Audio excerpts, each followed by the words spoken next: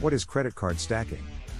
Credit card stacking is a strategy where a person holds multiple credit cards and uses each one to maximize the rewards and benefits offered by that card.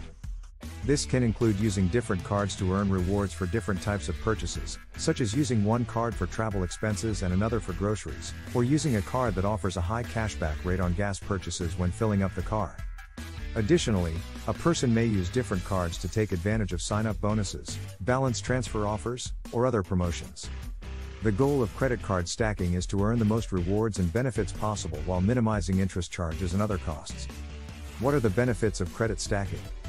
There are several benefits to credit card stacking, including maximizing rewards. By using different cards for different types of purchases, you can earn more rewards, such as cashback or points, than you would by using just one card.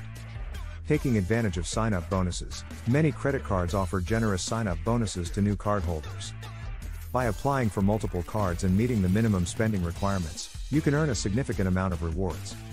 Earning more rewards on certain purchases. Some credit cards offer higher rewards rates on specific categories of purchases, such as gas or groceries. By using the appropriate card for these purchases, you can earn more rewards than you would with a general purpose card. Increasing credit limit. Having multiple credit cards can also increase your overall credit limit, which can help improve your credit score. Gaining access to exclusive perks and benefits. Some credit cards offer exclusive perks, such as travel benefits or concierge services. By having multiple cards, you can access a wider range of benefits.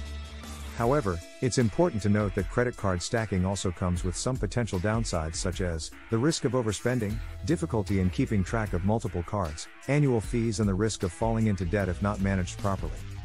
Can credit stacking make you recession proof? Credit card stacking can help you earn more rewards and benefits, but it is not a strategy that can make you completely recession proof. A recession is a severe downturn in the economy, and it can have a significant impact on many aspects of life, including employment, income, and spending. While credit card stacking can help you earn more rewards and benefits, it cannot protect you from the economic effects of a recession. It's important to have an emergency fund and also to have a budgeting plan and a strategy to pay your debt in case of a recession. Additionally, diversifying your income streams and having multiple sources of income can help you weather a recession. In summary, Credit card stacking is a strategy to earn more rewards and benefits, but it's not a foolproof method to make you recession proof. It's important to have a comprehensive financial plan that includes savings, budgeting, and debt management. Yes, you can credit stack cards between different bureaus. When you apply for a credit card, the issuer will check your credit history with one or more of the three major credit bureaus Experian, Equifax, and TransUnion.